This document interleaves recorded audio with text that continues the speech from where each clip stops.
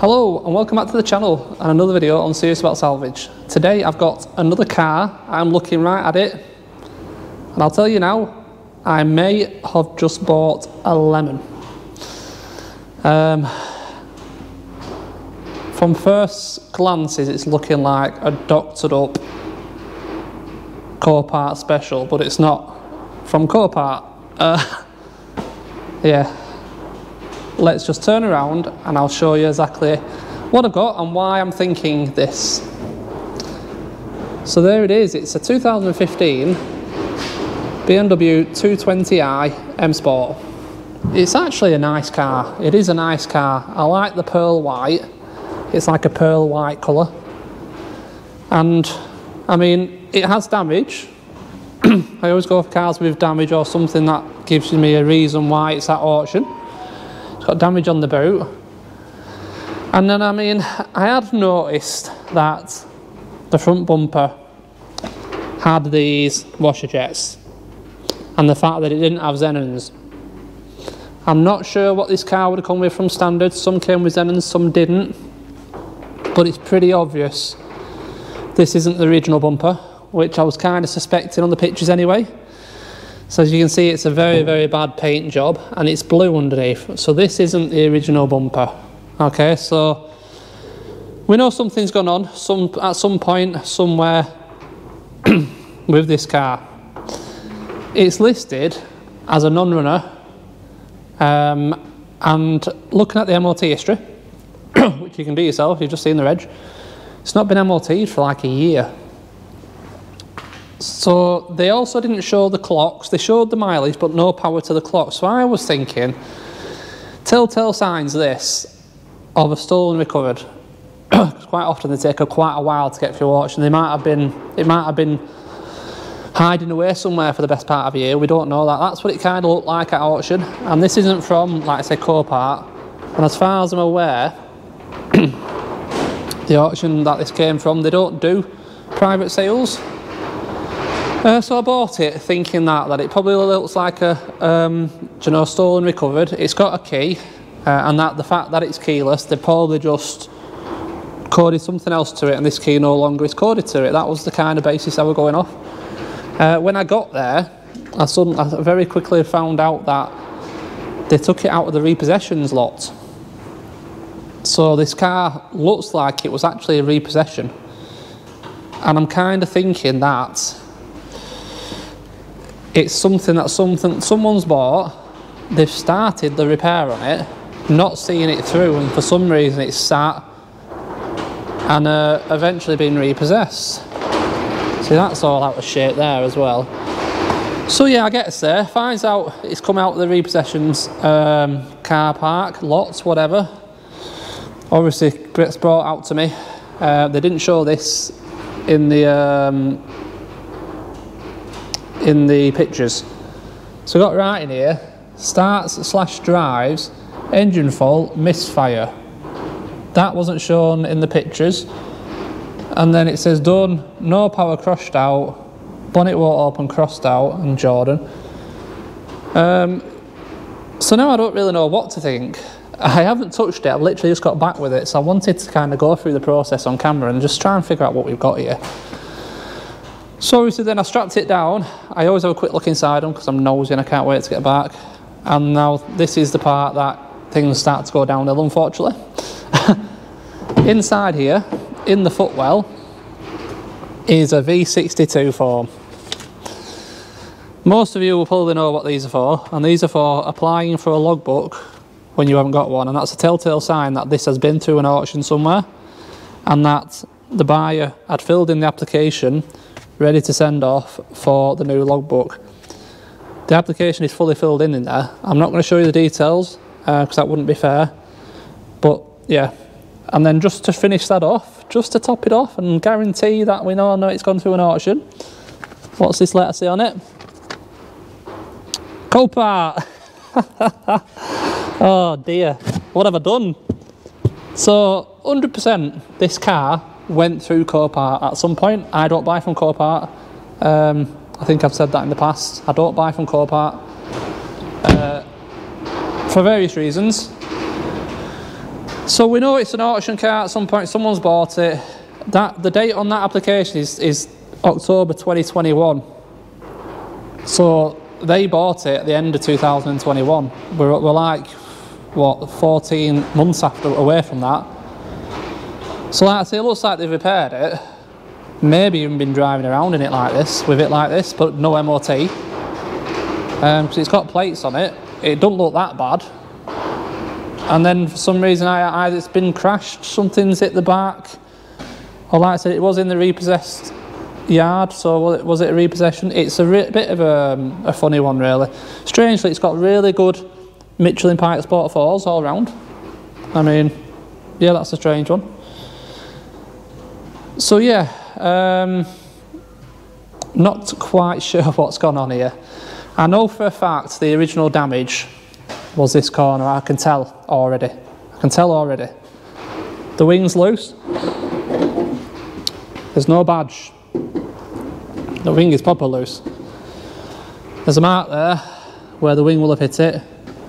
And there's a bit of rust on the corner of the bonnet where the wing would have hit the bonnet.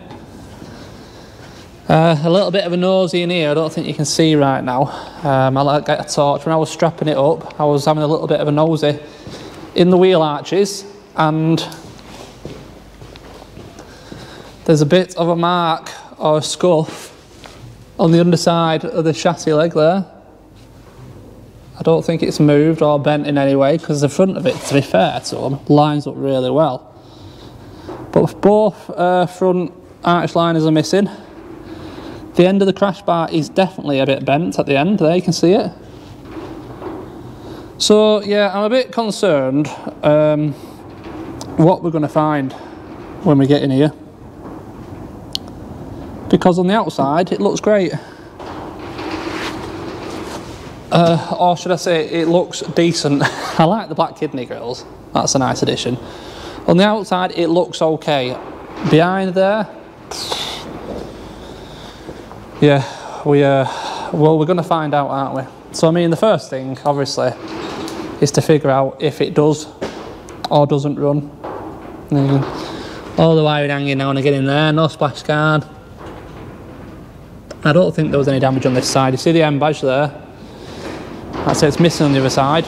Inside, we do have some airbag damage. Steering wheel airbag and curtain airbag. I'm gonna, I'm gonna hazard a guess these belts are probably gone. But critically, the dashboard is fine. So, yeah. It's definitely a strange one. I've got the... Uh, oh, it's not a fuse panel, so not sure what that's all about. So, right, I mean, I, have seen... Oh, I mean, it gets better, doesn't it? It gets better.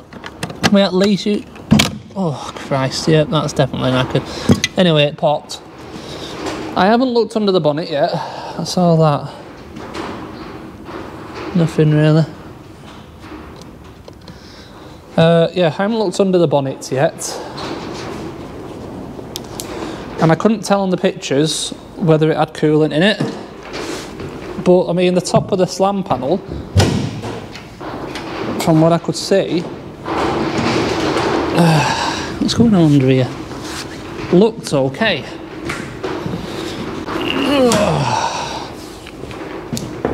And I've had this bonnet open because it was open on the um,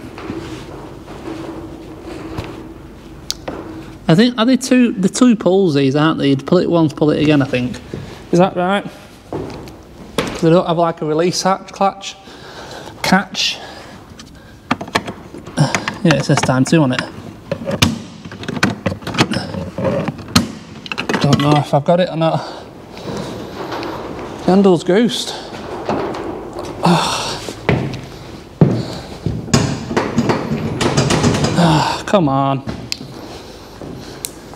bear with me a second. Right, got in it finally with a pair of pliers. They are a double release thing, but the original handle is broke, too broke to the point where it won't uh, pull it anymore. So I don't know what's going on there. But yeah, more paint missing there.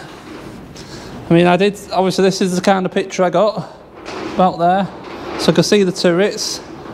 I could see the tops draw the uh, front panel and it all looks pretty straight and, and right doesn't it in all fairness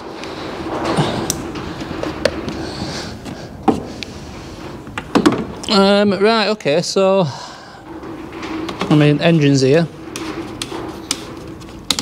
so that's a bonus mm, so it has got coolant in it whether yeah it's got plenty of coolant in it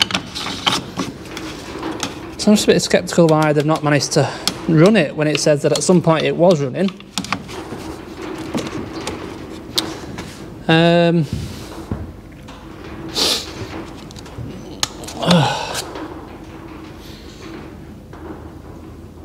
chain drive. Twin power turbo, it doesn't mean it's got two turbos, does it? I don't think. Uh, don't know. Well, that chassis leg's fine. And that one is as well, so the legs are fine. I mean, all the rad pack, to be fair, from what I can see, looks okay. So I don't really know what is going on. You want to be on camera, Kermit? It'll be going your way in a minute. I haven't tried it yet. I've not put battery. I've not put a booster to it. I'm trying to find the dipstick. Uh, where is the dipstick? Am I being an idiot? Do they have one? Do they even have a dipstick? It possibly doesn't have a dipstick, so I'm gonna have to Google that. So, uh, hmm. Okay, so yeah, apparently there is no dipstick. I didn't know. Any BMW after 2006 didn't come with a dipstick. That's what Google's saying.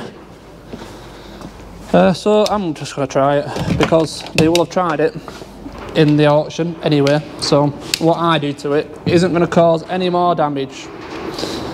Uh, so I'm going to put power to it and I'm going to see what the inside says because I am very curious as to what's going to happen here. uh, they did show the mileage, so they have had power to it, and it was uh, 40 something, 40 something. Can't remember exactly, but uh, I'm most curious to see if this key does anything. It does. So the key, can hear the locks. Does do something. Alright. Let's move some stuff. I don't want to be standing on everything, even though it's all broken anyway. Uh, let's have a look. Let's see what happens. They are keyless these, so... Oh, the booster just turned off. Perfect timing as I get inside. So, yeah, I'll get out again. The problem with these cars are really, really dead. You have to have it on boost. And it doesn't stay on for long enough. Which is really annoying. Let's try again. Ugh. So, press start button. Ignition is on.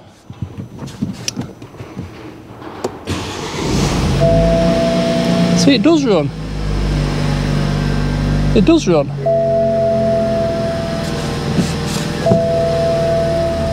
What? And it sounds, you know, that's not missing either. What?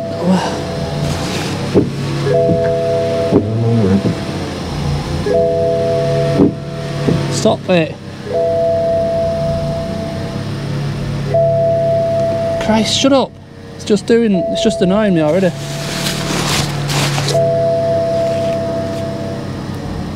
It's got a slightly erratic idle. That's all it's got. If you watch it. See it?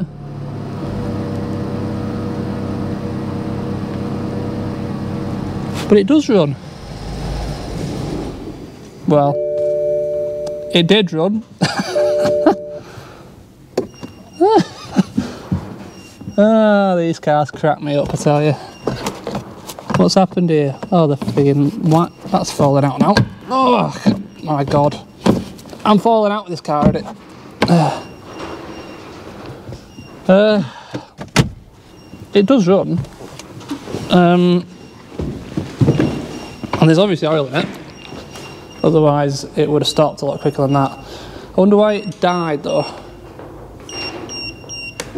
How were you betting the battery's unplugged in the back and it died because the booster turned off? Is that what we're thinking?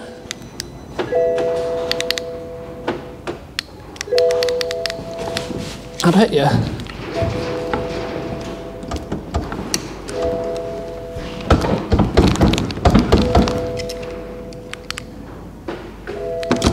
I bet you any money the, the battery's disconnected in the boot and the second it turns the battery power yeah as soon as the booster turns off all the power dies and that's why it's erratic idle. It's got it's not it's not got a battery on it. I bet you any money. You can shut up for a minute. So we need to figure out how we're going to get in this boot because it wasn't opening then. Has he got has he got a key? No hasn't got a key. Why would it be that simple? Uh, we get it through the boat back. There's got to be a way, isn't there? Let's have a look. It's always interesting to see in boats as well, especially when they don't open them on the uh, auctions. Uh, uh, right.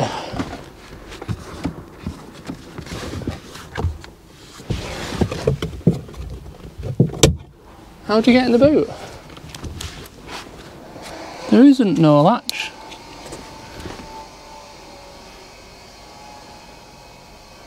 That corner cover looks like it's been out.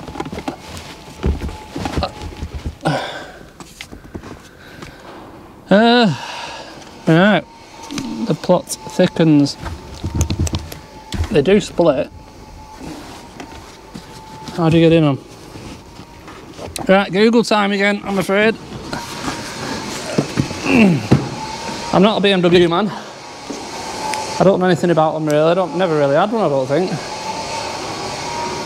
Bear with me a moment, let me try and figure out how to get this boot and we will continue with this mystery of a 220i. I've got in the boot. um, it's currently running off the booster still, but I bet when this turns off boost, that engine stops running. So let's have a quick look in this boot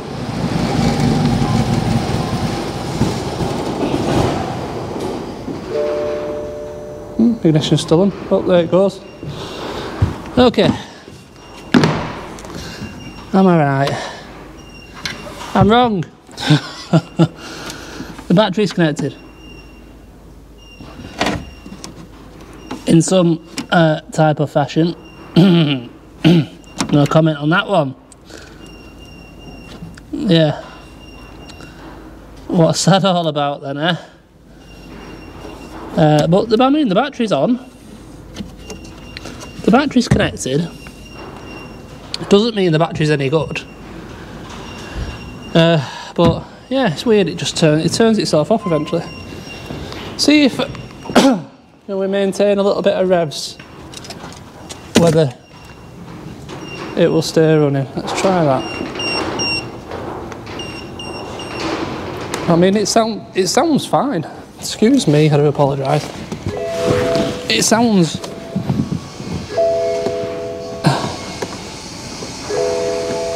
It's a bugger to start for some reason, I don't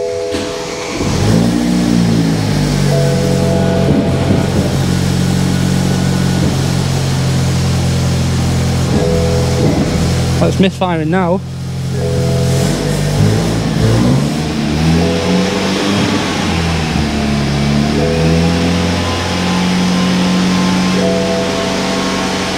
No, it's not. It's definitely power related, this.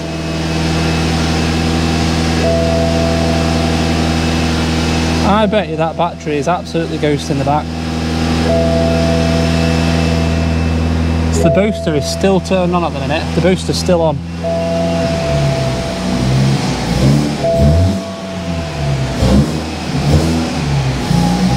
Sounds really throaty.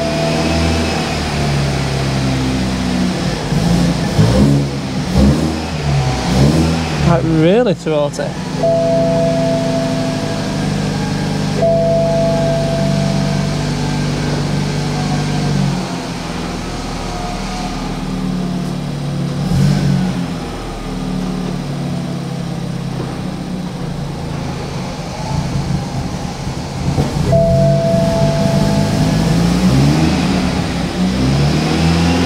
As soon as you let the rest come down a bit, it tries to die.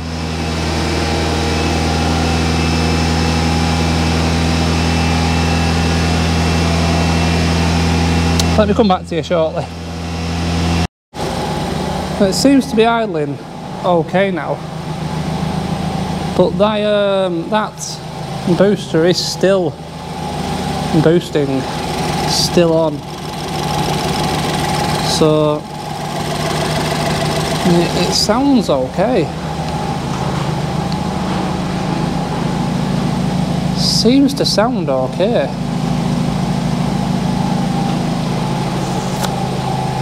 Why don't we see? I mean, there's only one headlight on. There's only one headlight on. So see what happens if we uh, take this booster off.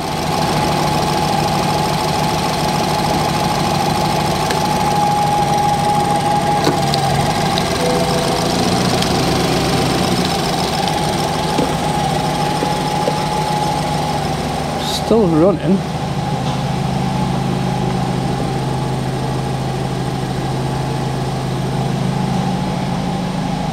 At the moment, it's still running.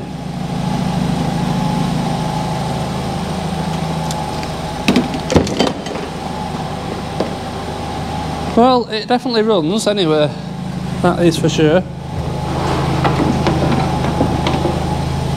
It doesn't seem to misfire. I think it's got power issues. I bet you this battery is um is ghost, you know.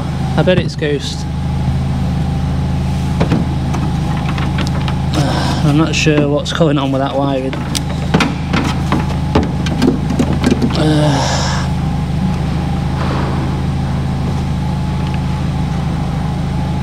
so we've got plenty of um, Joe charge volts. 14.5 loads.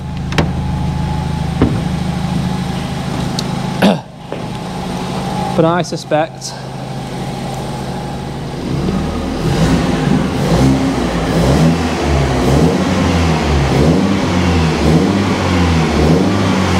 engine sounds fine it factory sounds really well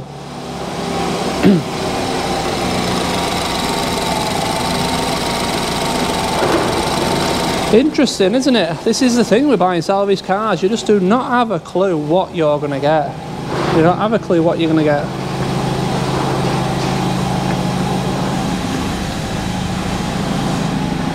Oh, thought something rattling then. It's Chainsaw Man next door.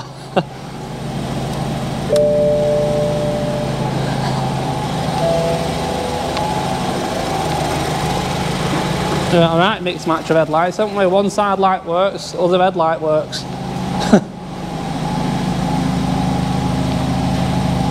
okay, alright. I mean, I'm quite intrigued to see if there's any um, power when we turn off this uh, engine again. But should we see if we can just do a oil level check? Oil not possible. No, it won't let me do oil level check. Uh, well, yeah, let's turn it off. See if there's any power to it. Absolutely nothing. That battery is a no bueno, I believe. Absolutely no bueno. Stay in there.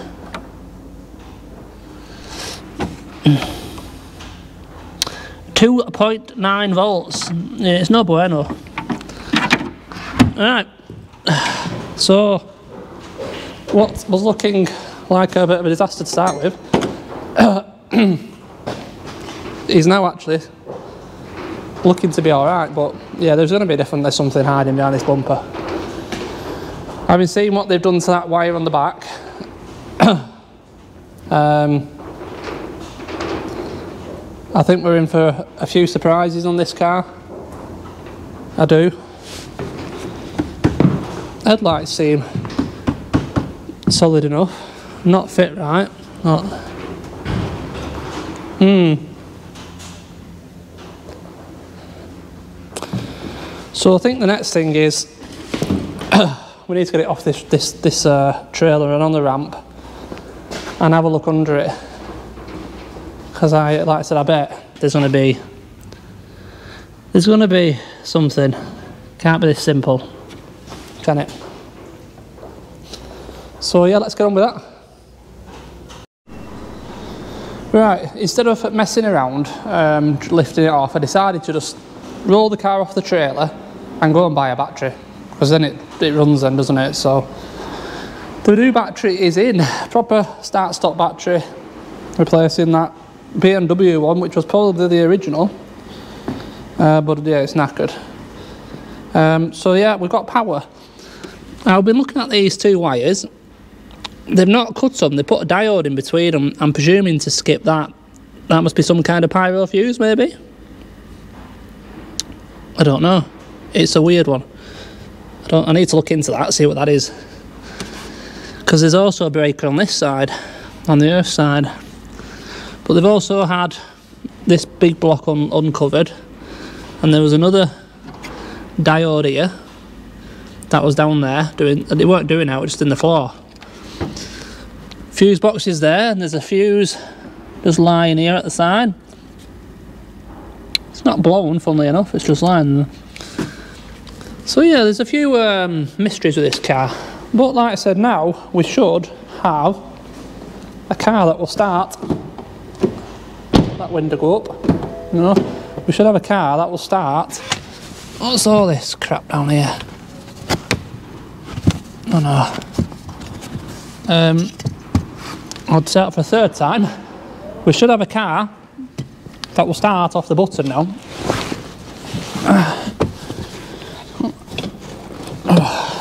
So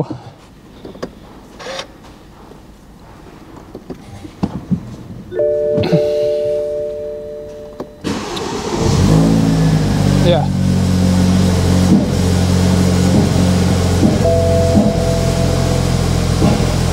I know why it's doing that misfiring now.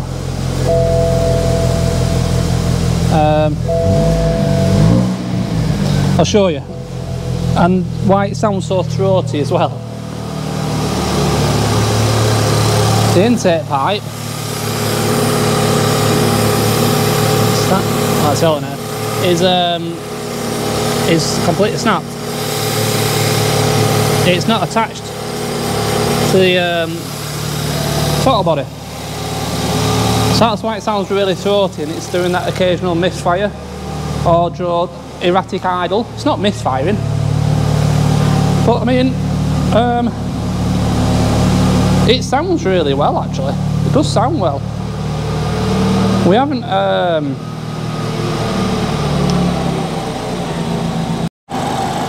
uh, sorry about that, where was I? Uh, yeah, look, we were going to see if it actually dries, weren't we? That was it. Will it actually move under its own power? I mean, it's been running for a while now. Someone came in, that's why I turned camera. Got some uh, right, clutch down. Clutch feels great, in fairness. First, it's found a gear. Yeah, goes forwards. Goes backwards. Try second. Yeah. Well, there we go. It's a mystery, isn't it? It's some old locking wheel nut key. Um, I've been trying to get it to do. It's um, oil level check, but it doesn't seem to want to. Oil level measurement not possible. Please observe service intervals. I mean, it's warm now. I bet it's because of all the codes. It might be worth getting the scanner out and seeing what all these codes are because I know there's a pile of airbag codes um, just try and delve in a little bit deeper as to what the actual history was what happened. I mean what will be a very good idea um, would be to do a carVertical on this. It'll show us then the damage uh, at Copart in 2021 but it does look like this appears to be like I said a repossession of a guy who bought it, started repairing it, for some reason it got put to a side. He never, never saw it through and it got repossessed off him, doesn't it? It's, like I said, 14 months, over 14 months since it went through Copart. And I'll bet we'll find it's done no miles. Uh, but yeah, the more look at it, they've done a real poor paint job on this bonnet. It's dull as hell, like really dull like rattle candle. Now whether that'll polish up, um, I don't know, we'll just have to see. This wing is an aftermarket wing, doesn't sound right, and also this body line, see how sharp that is, to how, how smooth and gradual that is. And then on the other side,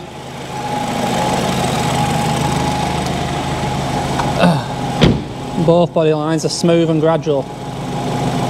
That other one's really sharp, that. So I'll have to find the wings, I'm not happy with that wing. And then yeah, we'll have to pull it apart and have a look what's going on behind there. Not going to be difficult fixing the pyro fuse thingy-majig. But I did just see a light, I think, for pedestrian protection, so it doesn't seem like they've um, they've changed these either. Or maybe they have, and they just haven't cleared the codes. I don't know. Um, the bonnet's a bit of a bugger to open and shut. I don't want to shut it. So there's that mystery to solve. There's quite a bit, yeah, to uh, to look at. One headlight works, one side light works. but I think all in all, actually, it's turning out to be a alright buy. I mean, the indicators work, so that's a bonus. Now it's running, I'm pretty happy in all honesty. I do believe we've got some suspension damage as well on this side. That wheel is curving in at the top and it's towing out. So I suspect the strut, strut issue, strut damage there. They must have, I bet you, it was hit here, that wheel's gone back. They've done the bottom arm, but not changed the strut by the looks of it. But again, yeah, we'll get it on the ramp to find out that lot. But all in all, it runs, so what, what can I can't complain, can I? It was listed as an unrunner. I've got it back and luckily it does run, so we got lucky again. So I think that's going to be it. Uh, you guys can uh, put in the comments what you think the story is to this car. It is a, definitely a strange one. I will do a carVertical and have that ready for the next video, I think. And we'll, we'll look at that in the next video because it'll definitely give us a clue where to be looking on this car for, you know, hidden surprises, shall we say? Hidden surprises. Um, but all in all, yeah, really happy. So, um, yeah, thank you for watching as always. I hope you've enjoyed this one. And uh, yeah, don't forget to subscribe and thumbs up to let you notified of the next video where we'll do the carVertical and we'll, uh, we'll delve into trying to figure out if they've done everything right behind there and everything's fine to continue just on face value or we need to start fixing stuff behind the panels first the body do the body the bumper and stuff and go from there. So yeah thanks for watching and i'll see you in the next one. Cheers